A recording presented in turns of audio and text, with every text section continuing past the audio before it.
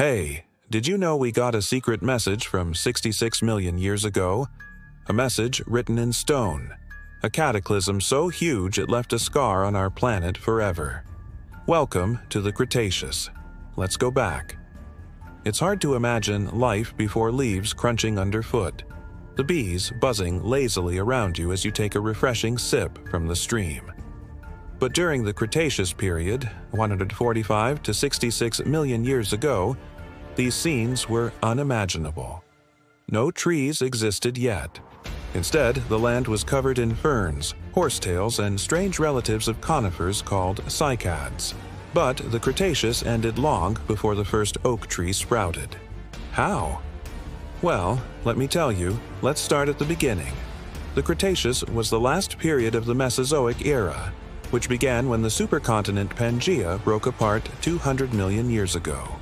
This era was the golden age of dinosaurs, and during the Cretaceous they came in all shapes and sizes. My favorites are the feathered ones like Velociraptor. Hey, I can fly, but okay, not exactly.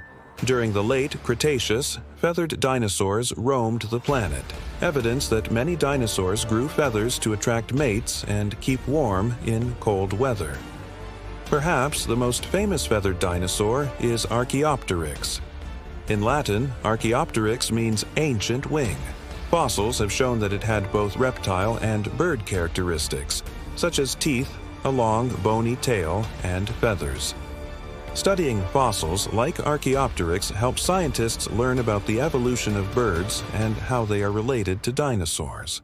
But let's talk about other dinosaurs. Meet Gigantophis garstini. This king cobra relative lived during the Cretaceous and reached lengths of more than 6 meters. That's longer than a doorway.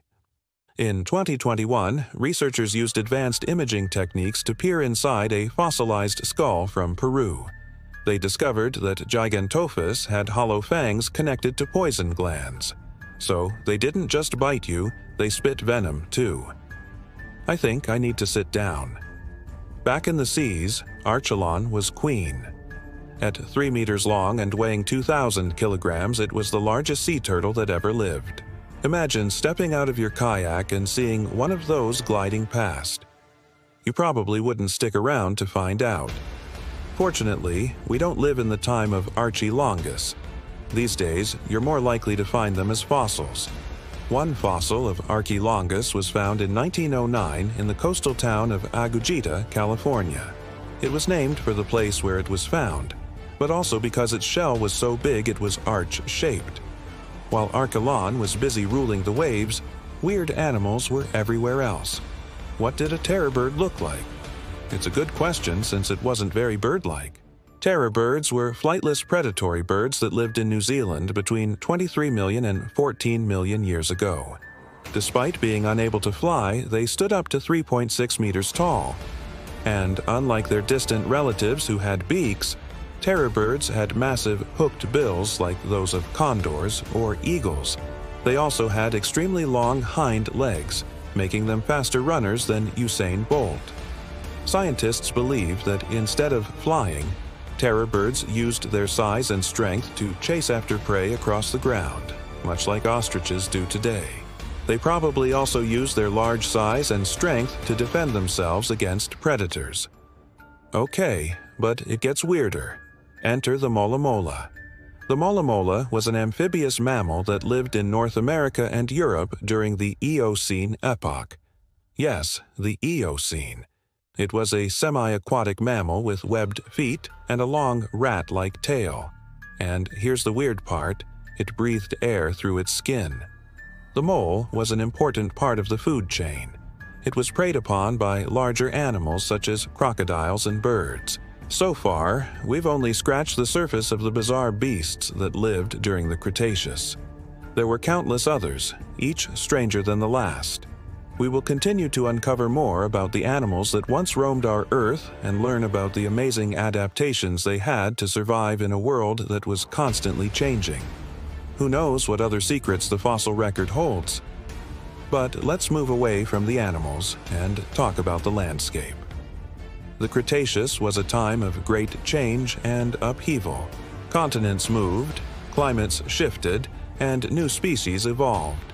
But perhaps the most significant event was the breakup of the supercontinent Pangaea. This event led to the formation of the Atlantic Ocean and the isolation of the Americas, Africa and Europe, Asia and Australia. This separation had profound implications for the distribution of plants and animals across the globe. As the continents drifted apart, populations of species became isolated from one another, leading to the evolution of new and unique species on each continent. For example, the ancestors of modern mammals originated in Pangaea. But after the breakup, different groups of mammals evolved separately in North and South America, giving rise to the diverse array of mammalian species we see today. Now, let's turn our attention to the climate of the Cretaceous. The planet was generally warmer than it is today, with average global temperatures estimated to have been about 5 degrees higher than today. This warmth allowed tropical plants to thrive in areas that are now too cold to support them. For example, the lush rainforests of the Amazon and Congo basins were home to a wide variety of plant and animal life, including many species that are now extinct. However, towards the end of the Cretaceous, the climate began to cool, which may have contributed to the extinction of the dinosaurs. So, let's jump back to the animals let's talk about some of the strangest and most fascinating creatures that roamed the earth. First, we have to mention the terrible lizard. The terrible lizard is a relative of the modern-day tuatara, a reptile that is found only in New Zealand. The terrible lizard lived in what is now North America during the Cretaceous period and was named for its fearsome appearance. Its head was flattened from side to side, and it had a large, rough tongue and powerful jaws filled with sharp teeth. Despite its name, the terrible lizard was not a carnivore, but rather a herbivore that fed on plants. Next, we have the Mosasaurus. The Mosasaurus was a large marine reptile that lived during the Cretaceous period. It was a type of ichthyosaur, which means fish lizard in Greek. Mosasaurs were well adapted for life in the water with a streamlined body, powerful tail, and paddle-like limbs. They were also equipped with sharp teeth and a large mouth, which they used to feed on fish and other marine animals. One of the most famous mosasaurs is the Tylosaurus. It was one of the largest known marine reptiles reaching lengths of up to 15 meters. Finally, let's talk about Smilodon, the saber-toothed cat. Smilodon was a genus of saber-toothed cat that lived in the Americas during the Pleistocene epoch. It was one of the largest and most powerful felines that ever lived, with a massive head, long fangs, and a muscular body. Smilodon was a skilled hunter, preying on large mammals such as bison and horses. These are just a few of the many strange and wonderful animals that lived during the Cretaceous period. Each of these creatures was perfectly adapted to its environment and played a vital role in the ecosystem. You might be thinking, where are the mammals? To answer that question, let's explore a little more. During the Cretaceous period, mammals were small proto-wombats, mostly nocturnal, living in the shadow of the dinosaurs.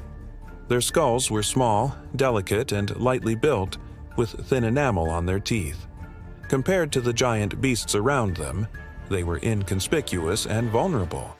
But their brain size was increasing rapidly, some scientists estimate that the brain of a primitive primate from that era was as much as five times larger than that of its close relatives.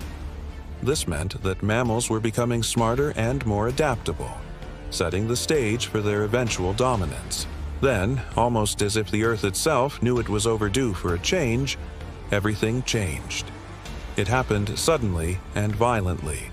A massive asteroid or comet hurtled towards Earth and crashed into the Yucatan Peninsula in Mexico. The impact was catastrophic. Dust and debris were thrown into the atmosphere, blocking the sun and plunging the planet into darkness. Earthquakes shook the Earth and tsunamis ravaged the coastlines. The asteroid impact triggered a chain reaction of events that led to the extinction of the dinosaurs and many other species but it also paved the way for the rise of mammals. Without the dinosaurs to compete with them, mammals were free to diversify and thrive. Today, there are over 5,000 species of mammals alive on Earth. They come in all shapes and sizes, from tiny shrews to blue whales. And it's all thanks to the extinction event that cleared the way for them to evolve. As we reflect on the Cretaceous, we are reminded of the power of nature and the interconnectedness of all life on Earth. From the smallest mammal to the largest dinosaur, each species played a role in shaping our planet's history. And while some species are gone, their legacy lives on in the fossils they left behind and in the DNA of the species that evolved from them. So, the next time you look up at the stars, remember that our planet has seen a lot of change over the past 66 million years. And who knows what the future may hold.